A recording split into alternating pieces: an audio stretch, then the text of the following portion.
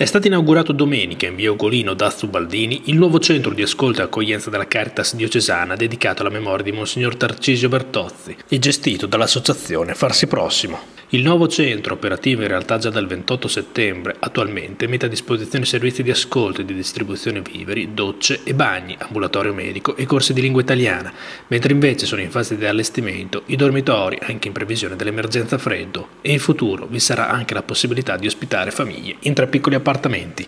I servizi in più sono sicuramente la possibilità di accogliere famiglie in emergenza abitativa, quindi ci sono all'interno di questa struttura due appartamenti che sono divisibili in tre e al massimo si possono accogliere tre nuclei e, mm, di famiglie appunto che si trovano in difficoltà, sono stati sfrattati o comunque non hanno la possibilità di avere un alloggio. E, mh, mm, sono, entrano all'interno di questa struttura dei servizi che erano dislocati al di fuori, che sono la mensa, che si trovava al di fuori del centro di accoglienza, il servizio vestiti, lo sportello vestiti che si trovava anche al di fuori. La mensa si trovava nei locali di Sant'Ippolito e il servizio vestiti eh, si trova nei locali di Sant'Agostino. Ad oggi quante sono le persone che usufruiscono appunto del centro d'ascolto e d'accoglienza? In genere abbiamo un numero di persone di circa 800 mm, persone eh, in un anno e eh, ogni giorno mm, entrano nei, nei, locali del centro d'accoglienza eh, circa 30 persone, ci sono circa 30 accessi al giorno. E probabilmente questi 30 accessi aumenteranno perché adesso stiamo pensando agli accessi senza, senza la mensa essendoci anche la mensa e saranno ancora maggiori gli accessi qui. Mentre invece indicativamente proprio le persone che usufruiscono dell'ambulatorio medico che mettete a disposizione?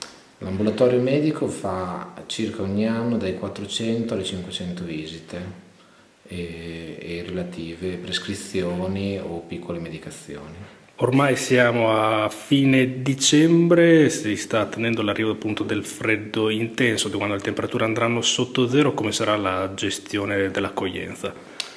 Cercheremo di far fronte alle esigenze delle persone che si trovano in grave emergenza, che mm, dormono fuori o dormono in stazione o in ripari di fortuna e attraverso l'attivazione del nuovo dormitorio che c'è qui nel centro d'accoglienza e, e continuando a gestire il, la vecchia sede. Lì eh, abbiamo 11 posti e qui ne avremo 8 e inoltre chiederemo alle parrocchie un impegno per fronteggiare eventuali maggiori richieste, quindi ci aspettiamo di avere una possibilità di 22 mm, posti letto per eh, persone in grave difficoltà. Ecco, 22 posti letto che normalmente sono sufficienti per accogliere appunto i bisognosi durante l'inverno?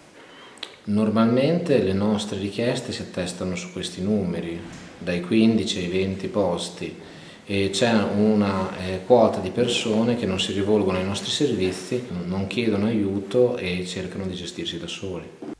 Federico Lega per Faenza Web TV.